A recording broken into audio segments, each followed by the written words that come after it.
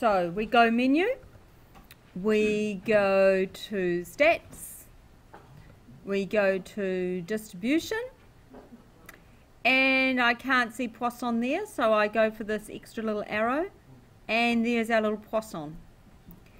Now, we've got PPD, that's for the equal sign, and PCD, that's for the less than or equal to sign.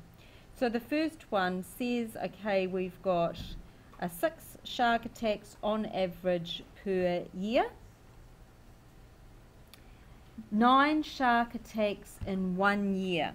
So we want to equal 9, probability of x equaling 9, so we use the PPD, it's a variable. Now our x we're wanting to equal 9, and our lambda was the average was 6 shark attacks per year, right? Okay, we push execute, and we get the probability of 0 0.0688, um, which is the same as the answer in the book on page 189. Now the next one we're going to do is the probability of there being more than two shark attacks in one year. What we have to see there is how to change it to less than or equal to. So we've still got our lambda equaled 6 and our interval was one year. Okay. Now, we wanted the probability that x was more than two shark attacks in a year.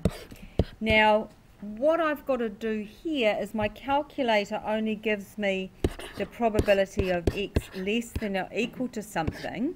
So I need to change this expression. So if it's it could be, I've got to change my language, that it could be 0, it could be 1, and it could be 2. Okay. Um, sorry, it can't be 0, can't be 1, can't be 2. So it's 1 minus the probability of x being less than or equal to 2.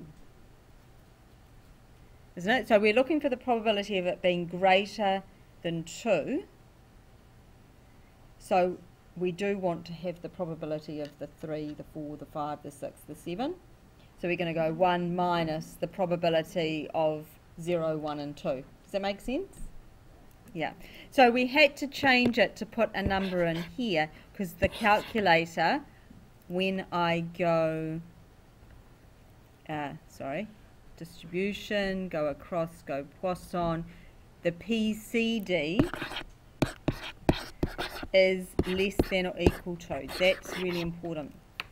So I've still got variable and then my x is going to be 2, so it's less than or equal to 2, and my uh, mean or lambda is still 6, so I execute and I get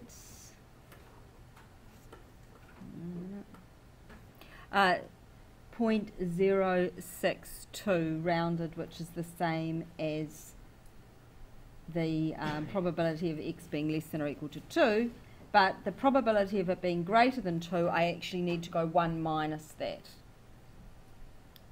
Okay? So it's the same as the answer in the book. Question number 3. This is where it gets interesting. So what we've got is lambda, well, sorry, lambda equals 6 per year. So one of the conditions of the Poisson distribution was that the probability of observing a single event over a small proportion, small interval, is proportion to the size of that interval. What does this mean in plain English? If it's six per year, then it's how many per half a year? Three. Okay, so we change our lambda. So the last question is two shark attacks in six months. So the probability that it equals two shark attacks, we uh, need to go still the two, whoops, this is equals, so I need to make sure that I go into the equals one, the PPD. So it equals 2, and my lambda is now 3, because over 6 months we'd expect 3. and we get 0.224. And again, we can check with the answer in the book, and yes, that is the same. Done.